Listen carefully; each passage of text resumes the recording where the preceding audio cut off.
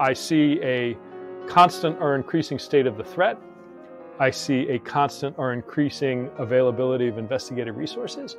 And I see a precipitous drop in sophisticated investigative activity. And I can't explain that. Because if you had and were able to do it throughout 13, 14, 15, 16, why aren't you doing it now? I'm Benjamin Wittes, and this is the Lawfare Podcast, October 25th, 2021. Pete Strzok is a former counterintelligence official at the FBI. He is the author, most recently, of an article in Lawfare entitled The Sussmann Indictment Human Source Handling and the FBI's Declining FISA Numbers.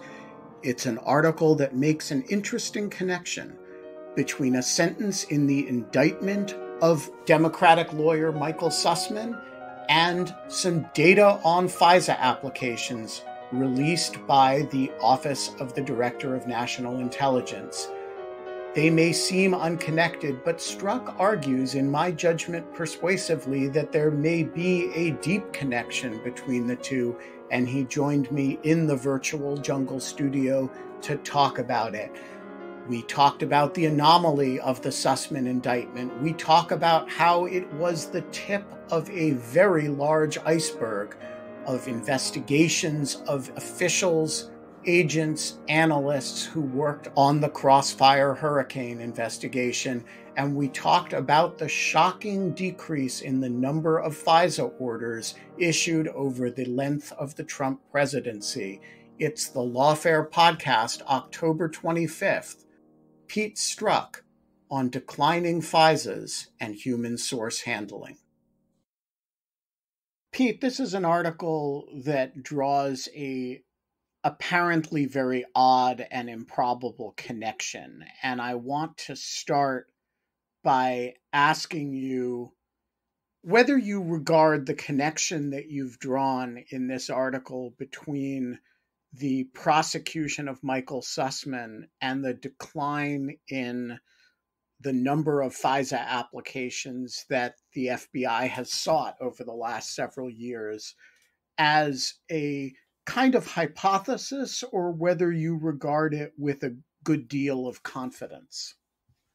I think it is certainly a hypothesis that is backed up by a limited data set. And what I mean by that is, I think through conversations with any number of people who are, you know, either connected to or still in the FBI, anecdotal stories and a sense that folks are walking away from, in many cases, what used to be kind of bread and butter counterintelligence type investigations that are now seen as hazardous, um, hazardous personally, hazardous professionally and that when I came across these numbers, that it provided a kind of very tangible data point to support that hypothesis in a much more rigorous manner than just you know kind of anecdotal stories from people on the inside. All right, so let's start with what you observe about the Sussmann case, then talk about the numbers, and then come back to the Sussmann case and talk about the connection between them. So, first of all, you are, are, focused on an aspect of the Sussmann case that other commentators, including me, have not focused on. So, what is that? Well, so the at the heart, the Sussmann indictment charges him with failing to when when asked, "Are you doing this on behalf of a client?" Essentially, not saying to Jim Baker, who was the general counsel at the time, that he said, "Hey, I'm just here as a concerned citizen," and uh, you know, a discussion for another time, which you've written about and many others have written about. This is a statement that is not backed up by any contemporaneous notes on the part of Jim Baker or recorded in a 302. And the best that the government seems to have is third hand notes from a, another individual who spoke apparently with Baker following that meeting. But the, the indictment charges Sussmann with with saying that he was there as a private citizen with concerns. But then the indictment, because it's a speaking indictment, which is a, a kind of term of art, meaning that it is very, uh, it provides a great deal of information.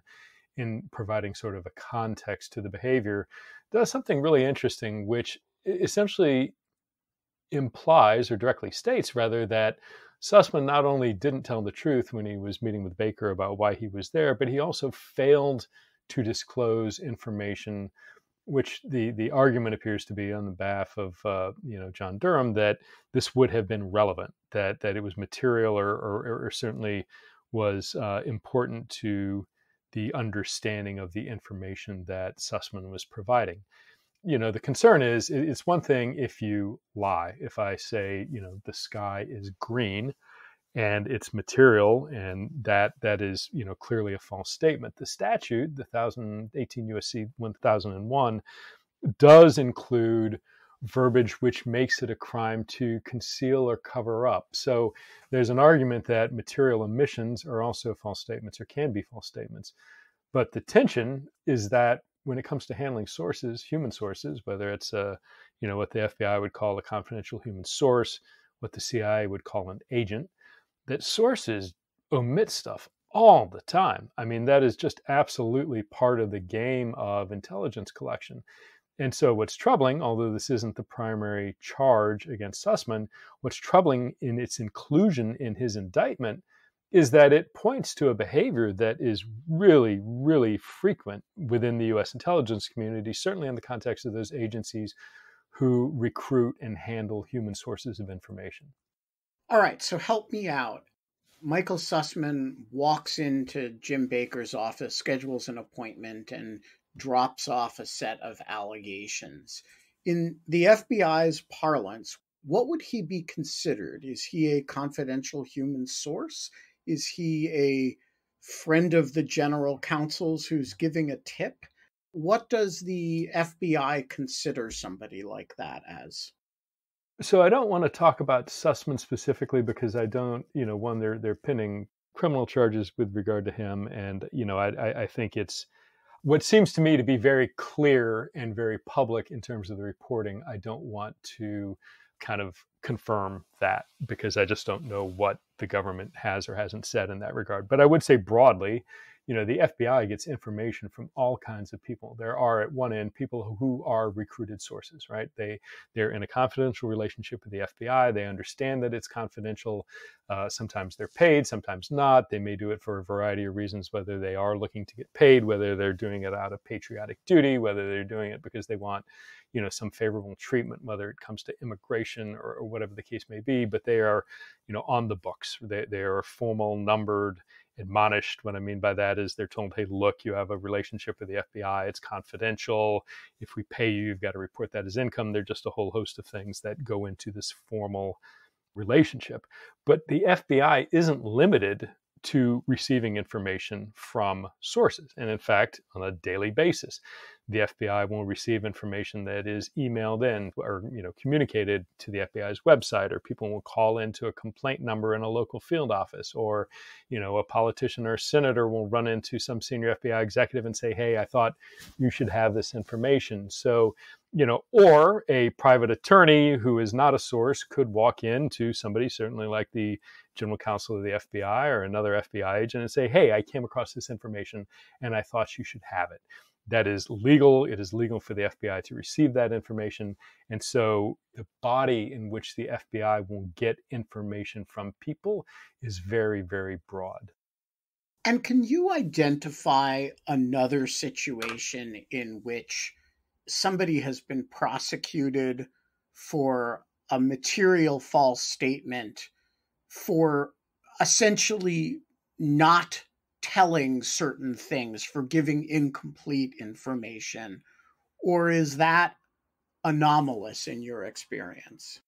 Well, it's certainly anomalous. I'm, I'm not prepared to say it's never happened, I, but it is, again, in the context of the, the sort of prosecutive activity that the Department of Justice undertakes. It's uh, extraordinarily rare, and you know there there a variety of reasons for that. But the things that concern me are, you know, to the extent that it is rare. Whenever you get to a point where there is some prosecutorial discretion about when something is rare, those times you do choose to prosecute it. That you know, as a prosecutor, as the Department of Justice, that's something that you have to to weigh very heavily. And some of that is the precedent you're creating, some of that is past precedent and whether this would break from it. And then certainly some of it is the impact on the operations of the US government. And that's what I, I, try and unpack a little bit in the article.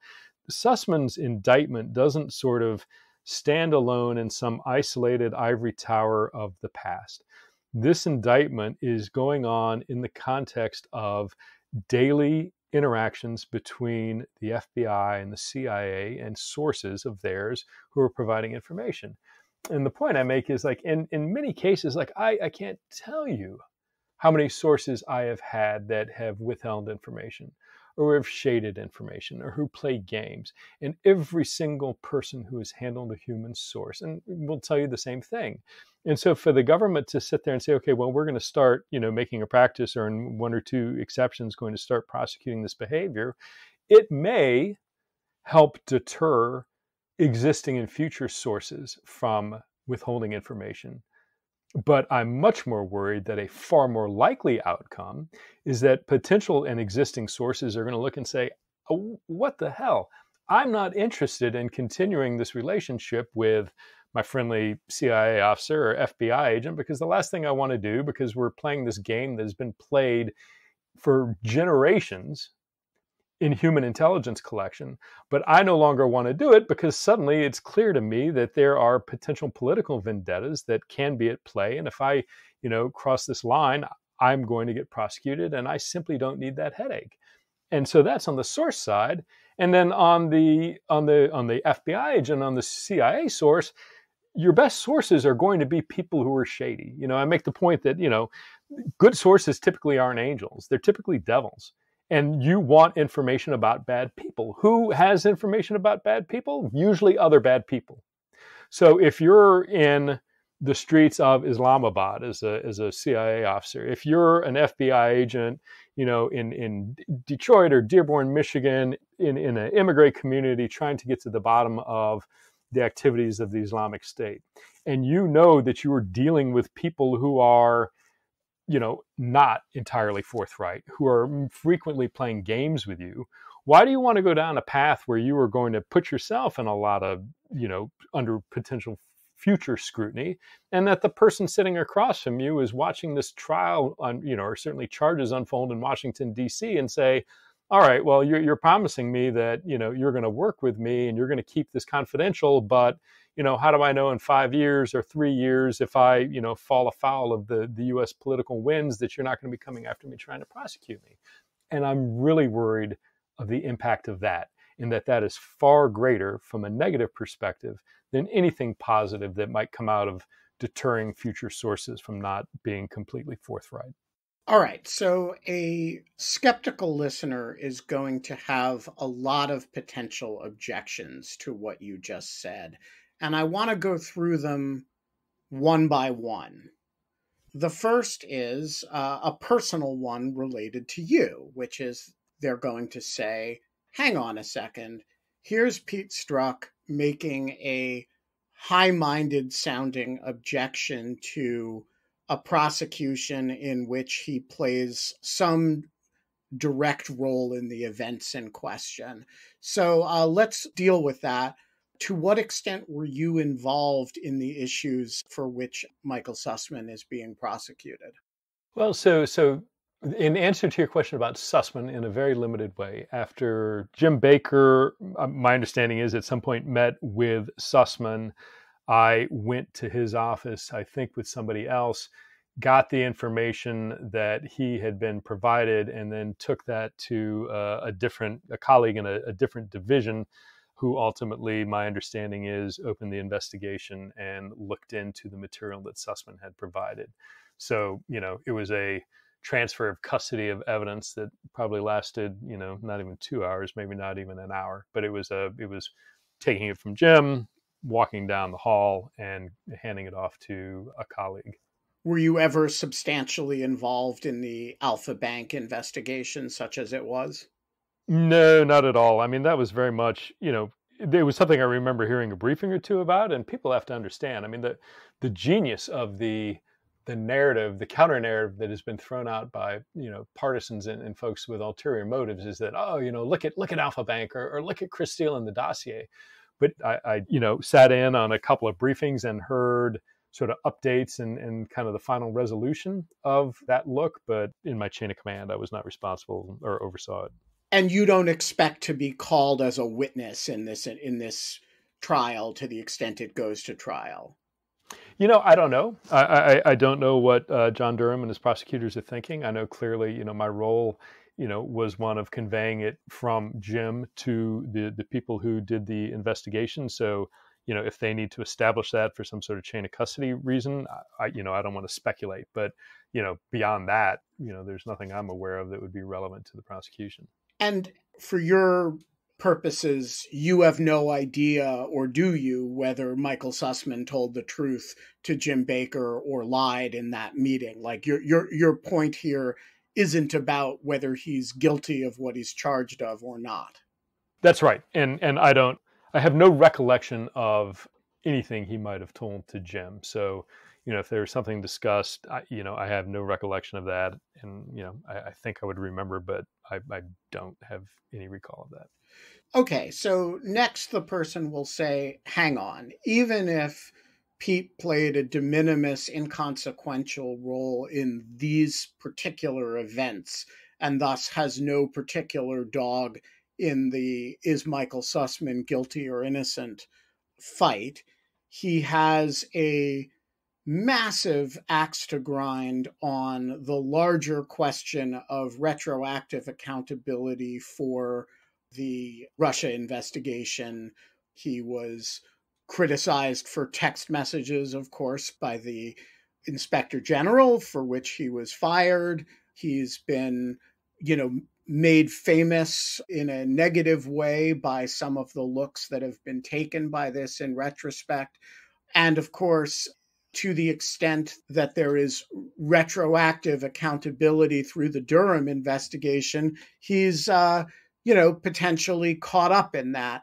Uh, so why should we take him seriously in saying, hey, these investigations have real costs for the FBI? Isn't what he's really saying these investigations are a pain in my ass?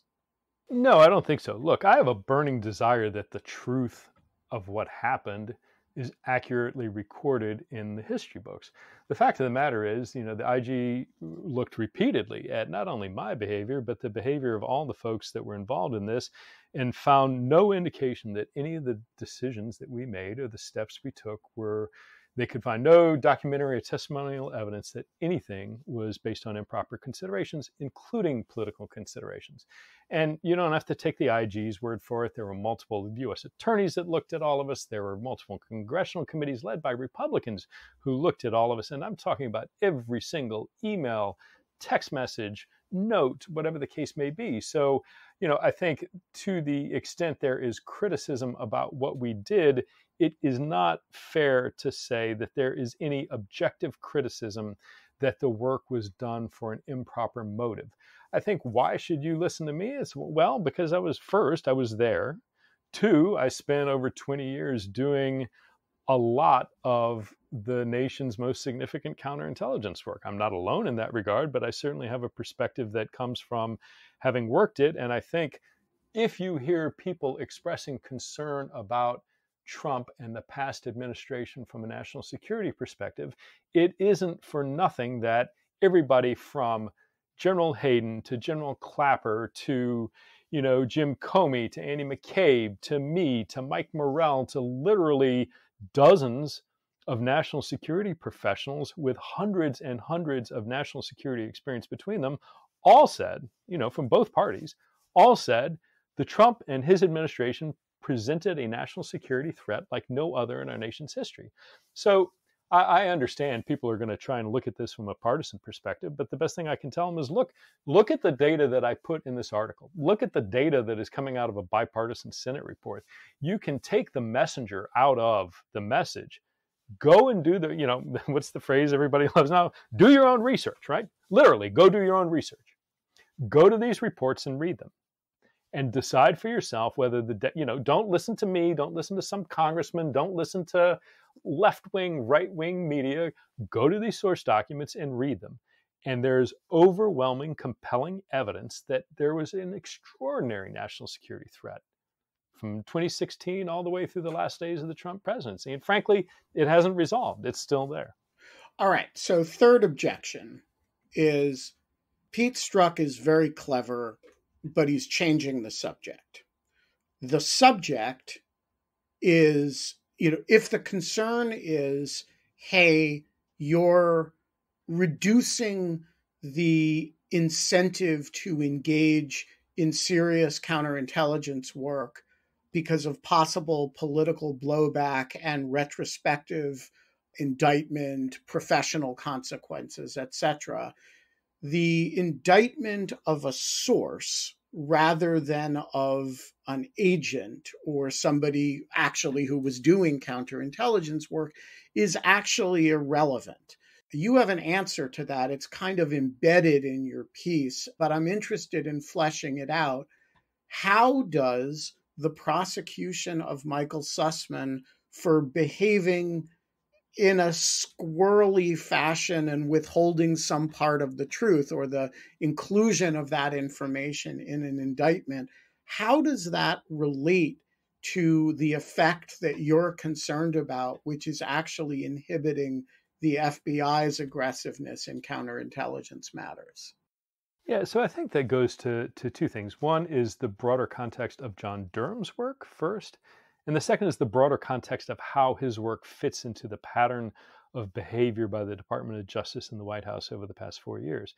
And so, you know, as, as your listeners may or may not know, you know, this is where we're hitting the endpoint of Durham's work, I think. I mean, who, who the heck knows? It's been, you know, far longer than, than Special Counsel Mueller took for the entire pendency of his operation. But, you know, you're listeners need to remember the early stages when you know attorney general bill barr was making dark pronouncements about a terrible abuse of power by the government and it should never happen again and the things that you know that, that the implication being that durham and his his work were going to uncover this malfeasance in the halls of power throughout the FBI and the U.S. intelligence community, all designed to, you know, delegitimize a lawfully elected president. And in just these years of dark tones and innuendo to in public pronouncements, including when the IG released his investigation, uh, the one looking at the kind of, among other things, the genesis of the Crossfire uh, investigation. John Durham doing something really almost unprecedented for a U.S. attorney in the course of an ongoing investigation to make a public statement that he disagreed with the conclusions of Inspector General Horowitz about how the case began. Well, you know, what does that mean? And how does anybody defend themselves against that kind of ambiguous statement placed in the context of the pronouncements of Attorney General Barr that there absolutely was just the devil in the senior, you know, the senior membership of the FBI and the CIA and elsewhere. And then the second thing is that, you know, as part of Durham's activity, yes, he's focused on Sussmann now, but you've got to understand he was, my understanding, looking at everything the FBI did, traveling with Bill Barr overseas to our foreign partners, the British and the Italians, and trying to dig up dirt on everything the FBI and CIA had done. And so, yes, this Sussmann indictment sits at the end of this path, but the beginning of this path represents just a deep dive into every little bit of behavior by those folks who worked on these investigations. And then the second aspect of that is Durham isn't the only thing that was going on during this time period. You had efforts by, again, multiple inspector general investigations, multiple congressional investigations on both the House and Senate side, bringing people in who the FBI had never agreed before or, or rarely agreed, folks at the non senior executive service level, you know, GS 15s and 14s, and producing them to committees to be interviewed and, you know, under, in most cases, closed sessions you had multiple U.S. attorneys that Bill Barr brought in, from Jeff Jensen to John Huber, that were going through and again looking through everything from the conduct in the Clinton Foundation investigation to re-looking the mid-year exam investigation, which was Hillary Clinton's uh, the look into her use of a private email server, to you know whether or not the document production and things that were turned over as part of that were legitimate. So again, if you are somebody on the inside, this represents years of just a constant recurring look at your behavior and what you did and whether it was proper or not and going through and explaining your notes and explaining your actions and then finally everybody because the people who worked on this were really good And that's one of the things that, you know, that, that, disturbs me the most. There's been not a finger lifted on the part of the FBI or DOJ to defend any of the FBI's work in this regard. If anything, there's been, well, you know, Director Wray said, we're going to set up a group that's going to go through all the decisions made in the Flynn investigation. And that makes headlines. Well, I assume that's done.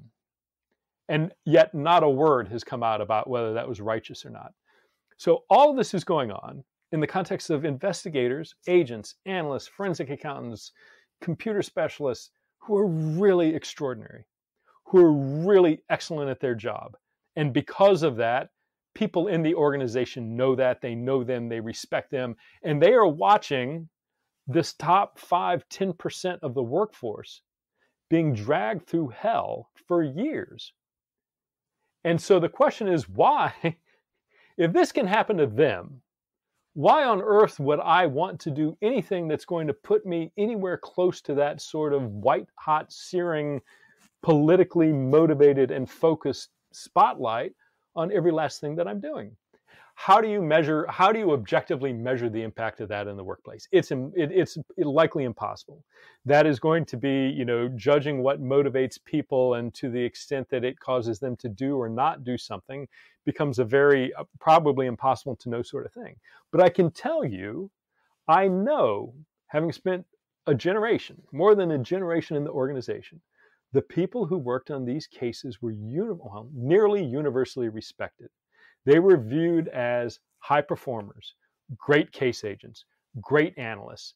And despite everything that's being spun about the deep state and you know the abuse and FISA abuse and no collusion and everything else, if you step outside of that and if you got into the FBI and into the CIA and other people who worked with the FBI and knew these people and said, what was your view of their competence and reputation?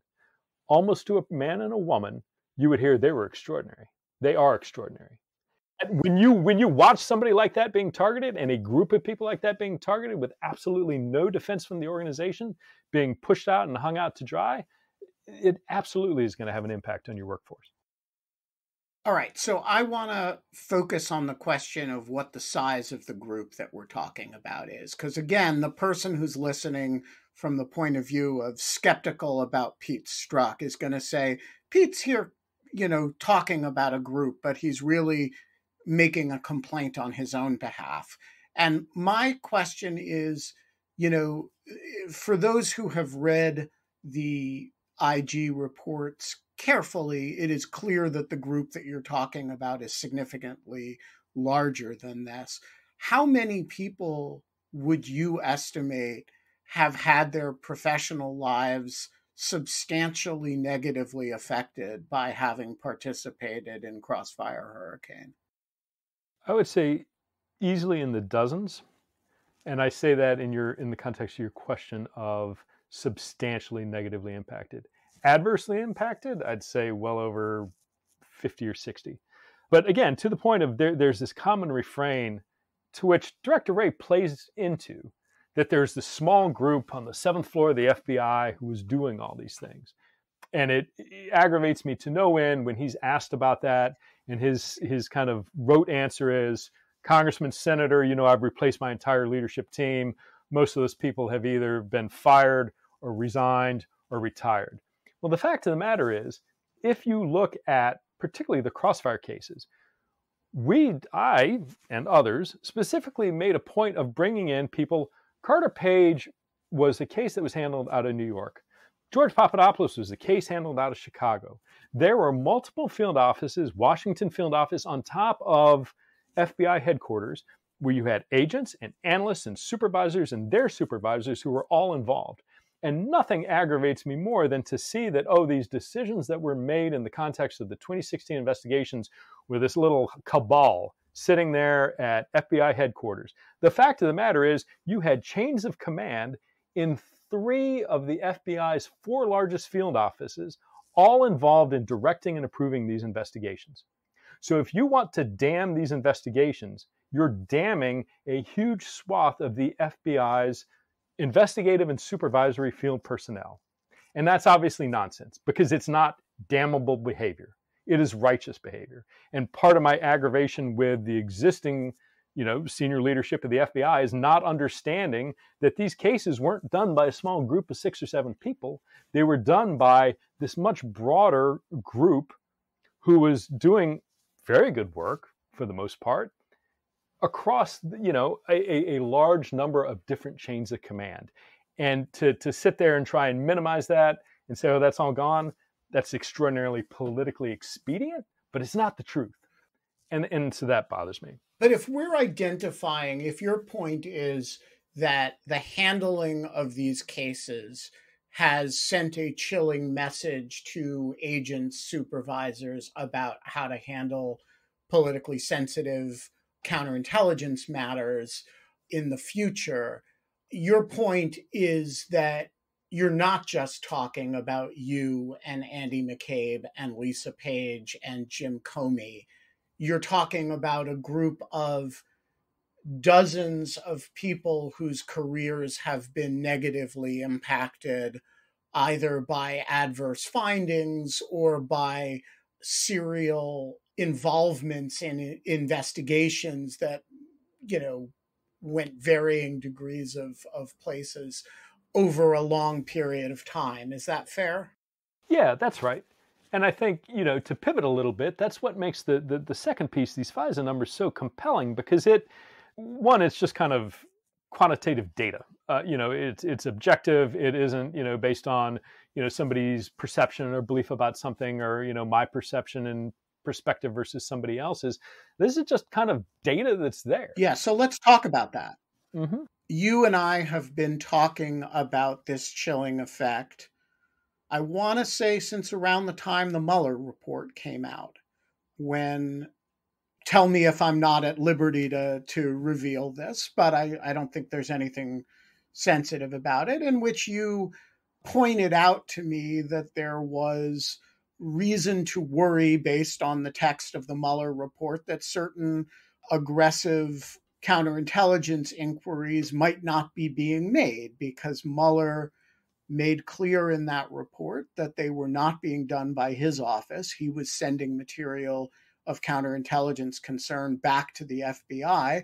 And you were quite concerned that after what happened to the Crossfire Hurricane Group, people at the FBI would be quite inhibited from being aggressive in this regard. So this is, you know, three years ago now, I think, or two years ago.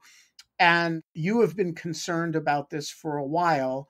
You've not written about it until this week. So explain to me what changed that caused you to say, okay, I should be talking about this.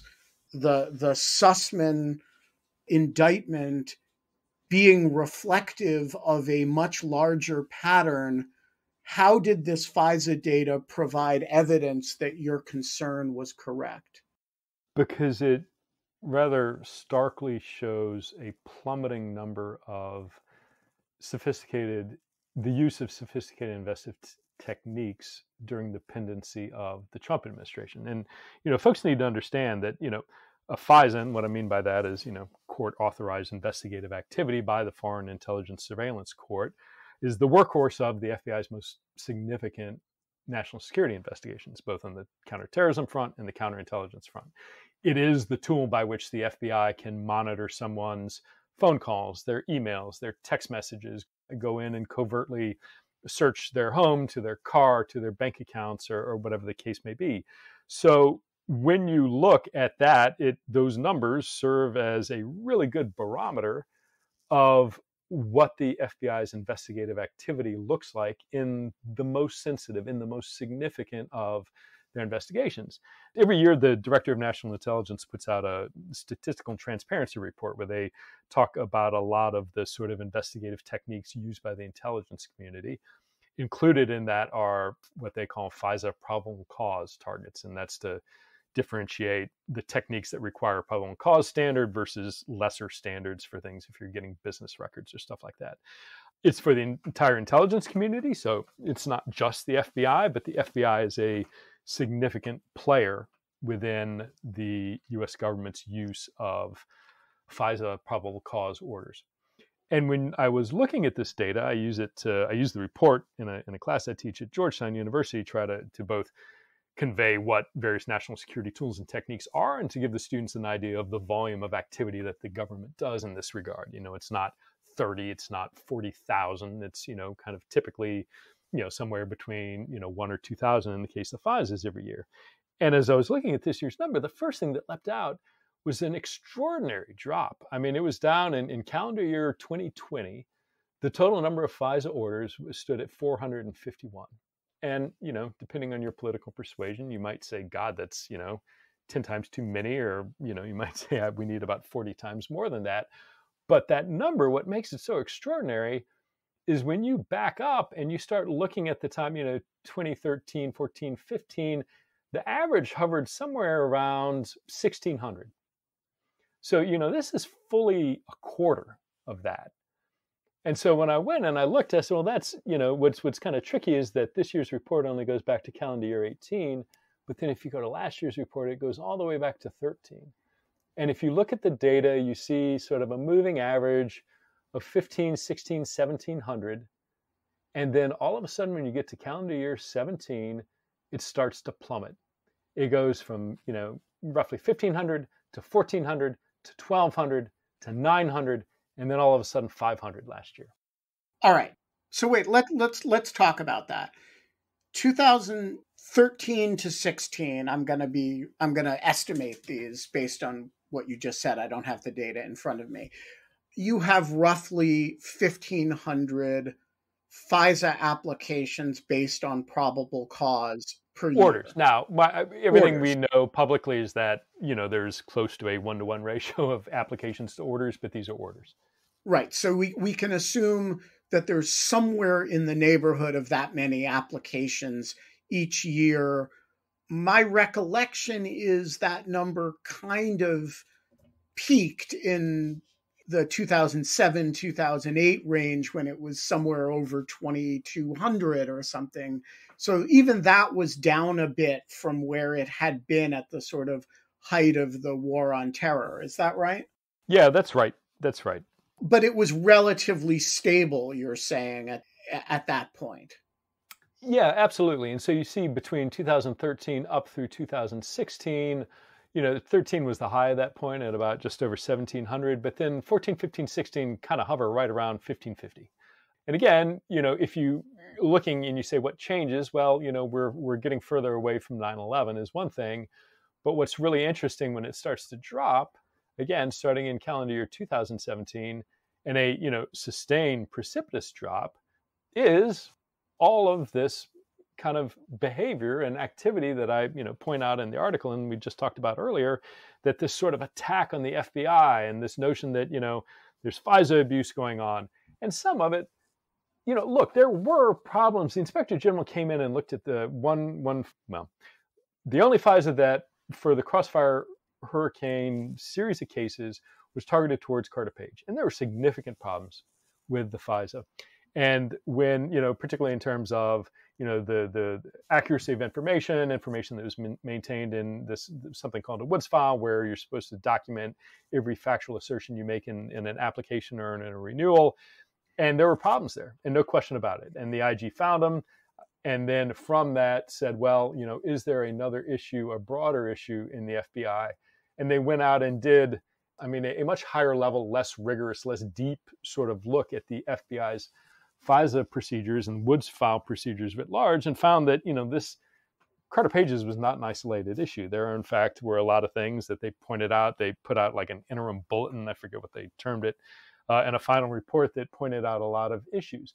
So there is clearly was a need to tighten up and correct some of the process to the FBI's applying for and conducting FISAs. But the issue isn't if there's a problem to stop doing something because it's problematic. The answer is if there's a problem with something, fix the problem and continue doing it, but do it in the right way. Let's isolate the effect first and then go back and talk about what possible explanations there may be for this effect other than Donald Trump. So the effect is we have a roughly 1500 fluctuating average up through between 2013 and 2016. And then you start this pretty awesome drop. It's declining literally every year 2017, 18, 19. It goes down to 907. And then in 2020, it goes down to 524, which is somewhere between a third and a quarter of, depending on the year, of that kind of moving average. So, your hypothesis is look at this next to the Sussmann indictment. They've been so aggressive in this retroactive accountability stuff that they're indicting sources for you know omissions of a type that seem or or just it's not the specific indictment is for a lie but they're including in the indictment omissions of a type that are perfectly normal for sources to engage in in your extensive experience with confidential human sources. In that background with this giant series of investigations that's negatively affected the careers of dozens of people, you would expect to see, and having predicted that this was going to have an impact on aggressiveness with respect to counterintelligence, this is now some vivid evidence of that timidity, that that induced timidity. Is that a fair summary? Yeah, that's right. I think that is the the point I'm trying to drive home. Certainly, you know, we have to note 2020 was the the height of the impact of the uh, COVID pandemic. But what's interesting is also in the report they note the number of national security letters, which are kind of the national security equivalent of a subpoena. It's not an exact analogy, but it's close. When you look at the FISA numbers, they drop, but not nearly at the same rate as the FISA numbers do. So what that tells me is, yes, the FBI's work, the intelligence community's work was impacted, but they were still working, right? The national security letters are still getting issued, are still going out. And where you see maybe a 20% drop for NSLs, it's nothing like the 60% drop that you see in the FISAs. And in my mind, the only the, the only difference there is a concern by people that they are going to get drawn into something that is going to put them at personal and professional risk because all the scrutiny that's being paid to the process. And that becomes a leadership issue. The FBI was doing all these FISAs because there was a legitimate national security purpose to do them. You know, people might argue, oh, you know, there's a handful never should have been open. Fine. I will, I will, I think that's less than 2%, but I will grant you 10, which is wildly over the top that let's just say, for the sake of argument, of those 1,500, 150 were marginal and shouldn't have been done. I believe it's far less than that. I think 15 or less were arguable. But let's, I'll give you 10%. If you take that away and strip that out, there's no explaining how the national security threat that would merit 1,300 orders a year suddenly is sufficiently being addressed by 500. All right, let's talk about alternative explanations. So, COVID you're willing to grant that the number in 2020, which is really, really low, is probably lower than the effect that you're describing because it's exacerbated by COVID. Is that fair? Yeah, that's fair. That's right and then so to that then you say okay well let's look pre-covid and you look at, at calendar year 19 and that's still at you know 900 right. So it's still at half the level that it was in 2017 so let's split the difference and say that 525 or 524 in 2020 should really be 750 or something. Here's another possible explanation that I think maybe the inspector general, if he were here, would embrace, which is yes, Pete is absolutely right.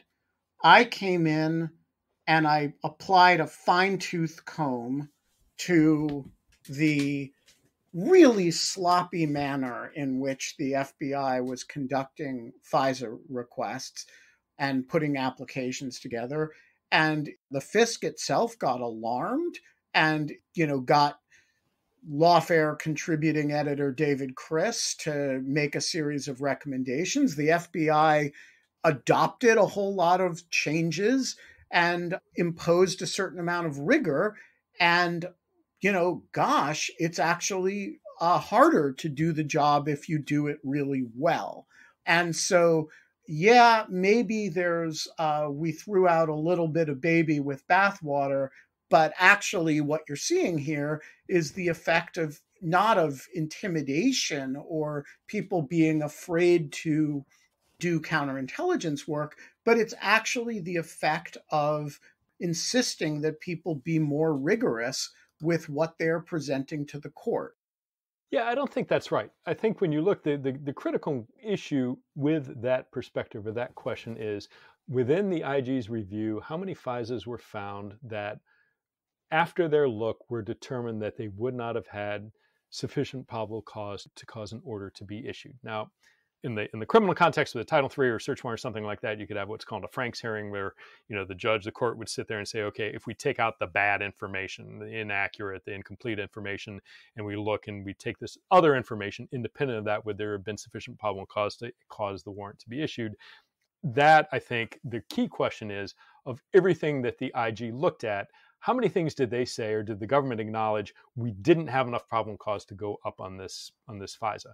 And the answer is, I think, less than 10, maybe less than five. No, no, the answer is none. Well, looking at Carter Page, so the government did acknowledge, the FBI said, we do not. So there was the initiation, the initial order on Carter Page, and there were three. Right, right. So I was excluding Carter Page because that there was a separate specific right. finding on that. But look, here's the point with Carter Page. Everybody says, "Oh, it was a it was a bogus FISA." No, it wasn't.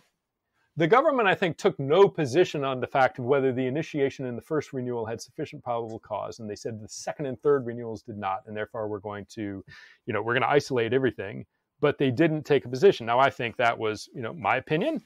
I think there was certainly probable cause. My experience with FISAs and the standard and what constitutes probable cause in the national security context, I am very comfortable that even if you, I'm not even saying caveat and the heck out of the Steele information. But if you take the Steele information out of the picture, I believe there would have been enough that we would have gotten sufficient probable cause to get a FISA on Carter Page. Okay, but let's let's leave Carter Page aside okay. for a minute.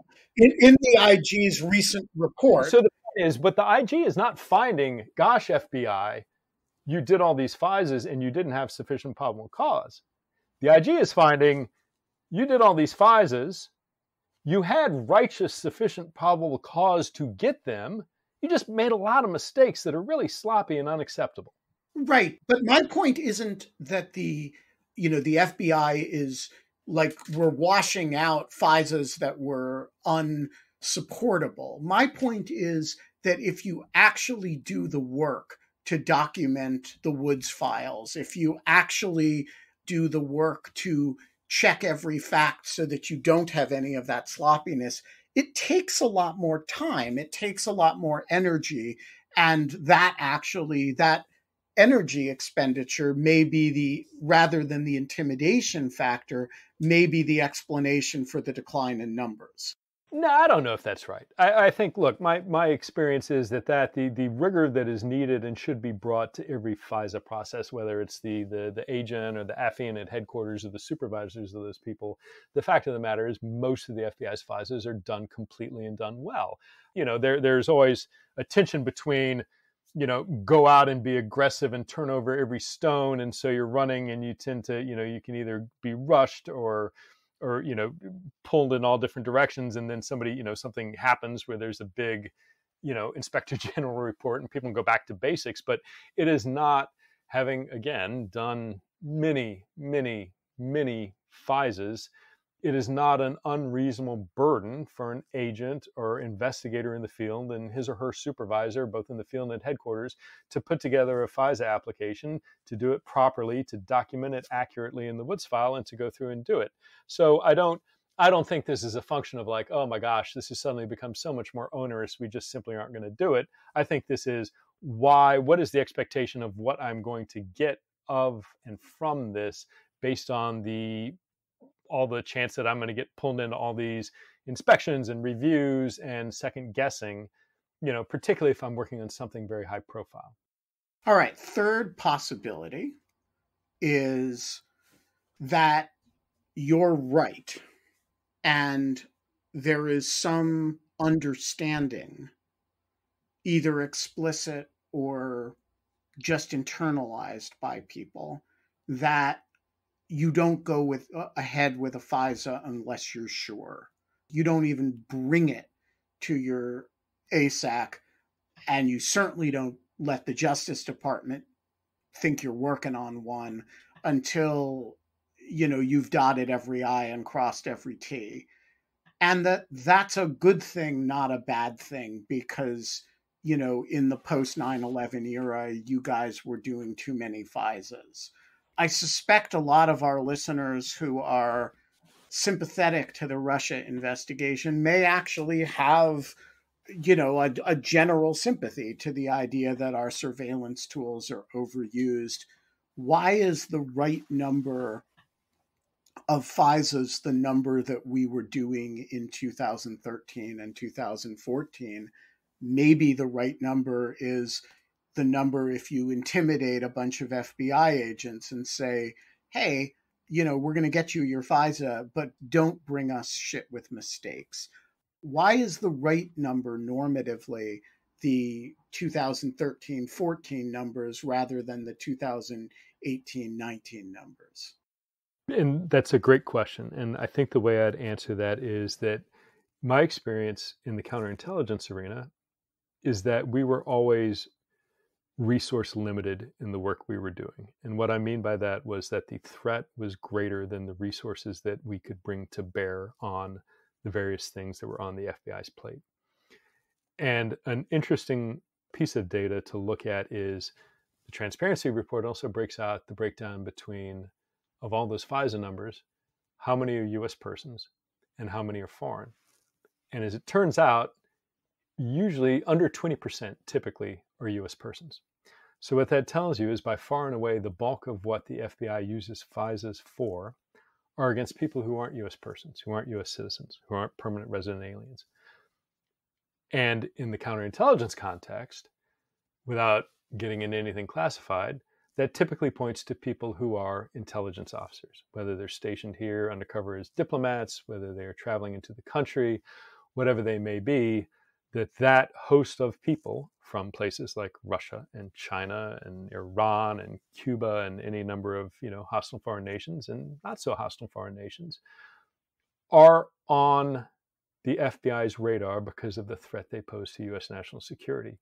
And historically, that number, I'm going to be careful how I say that. The safest way to say that is historically, the threat that we faced was greater than the number of resources we could place onto it. And so when I see that at some point we were carrying 15, 1600 FISAs a year consistently, and we're able to sustain that and enough investigators to work those cases. And we were doing that in the context of if we had more resources, we would have more FISAs. Well, we didn't lose resources. We have the same number of agents and analysts, it's probably even gone up. And so when I see that the resources have stayed the same, the threat has probably gotten greater, but certainly hasn't decreased. But yet, when I see this drop off of investigative activity, that's deeply troubling because that threat hasn't gone away. The, the, the, war on terror has not ended. The threat from foreign intelligence services suddenly didn't stop in the Trump administration. And so I see a constant or increasing state of the threat. I see a constant or increasing availability of investigative resources and I see a precipitous drop in sophisticated investigative activity. And I can't explain that because if you had and were able to do it throughout 13, 14, 15, 16, why aren't you doing it now? Was it actually not important back then? That's not my experience. So then what's causing that drop and what is the impact on the in my you know what I'm thinking about what is the impact on the FBI's ability to understand what is going on by those foreign intelligence services within the United States? And I think it is necessarily diminished when you don't have those investigative techniques at your disposal to get you that information. There's one other piece of this puzzle that we haven't talked about. We've talked about the group of people that these investigations have impacted and in a sustained way. We've talked about the evidence that there is some chilling effect. But, you know, without asking you for any confidential conversations, you are in touch with a lot of people in the Bureau who do these investigations for a living, many of whom used to work for you. One thing I would expect, if your thesis is right, is that morale in the counterintelligence world is low. Is it? Not as low as it was. again, I, I want to be very careful because I don't speak for the counterintelligence universe. You know, the people I know and who know me, you know, we have a common background. We have typically long professional interactions with each other. And I want to, you know, try to be very objective and take me and my experience out of it. I think it is absolutely fair that certainly, certainly prior to, you know, this year, there is a tremendous sense of concern about doing anything that would approach the political environment. And by that, I mean cases related to anybody in the administration, certainly within the White House, certainly with regard to Russia, that there was a voiced sense of trepidation to go after complex investigations involving Russia and the White House. Now, I want to caveat that heavily. I'm not in the FBI. I don't have the data. You might speak to somebody who, you know, is at a senior leadership role within the counterintelligence division of the FBI who would say, well, actually, that's not accurate. You know, we have cases here, here, here, and here. But at least what I can say from hearing on the ground, I don't believe that to be the case. You know, hopefully that's changing, but that's what makes this data so alarming. The numbers, we'll see what 2021 brings, right? But with such a precipitous drop in the FBI's investigative activity, that's what, again, to your point you made earlier, it was this data that drove me to write it because I feel very uncomfortable presenting my anecdotal evidence as some sort of actual you know accurate information but when you get information that is you know th- these these numbers which are inarguable. I mean, they are what they are. And exactly what your anecdotal experience would have led you to expect. Yes, it, it, it, exactly overlays exactly the same way with the anecdotal experience that you know I've seen and heard. We're going to leave it there. Pete Strzok thank you for joining us today. Thanks, Ben. Great to talk to you. The Lawfare podcast is produced in cooperation with the Brookings Institution. Our audio engineer this episode is Cara Shillenn of Goat Rodeo. You need to do your part to promote the Lawfare podcast. And if you've heard me say this this many times and you haven't done it, just go do it. Leave us a rating or review wherever you found us. Buy our merch at thelawfarestore.com. Share us on all the socials. You know the game. The Lawfare podcast is produced and edited by Jen Patja Howell. Our music is performed by Sophia Yan. And folks, you can become a material supporter of Lawfare. It doesn't violate the material support statute at patreon.com slash lawfare that's patreon.com slash lawfare. And as always, thanks for listening.